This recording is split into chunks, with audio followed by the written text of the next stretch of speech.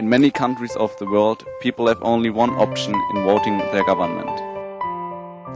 Also in many countries, women do not have the right to vote. The European Union wants to change it.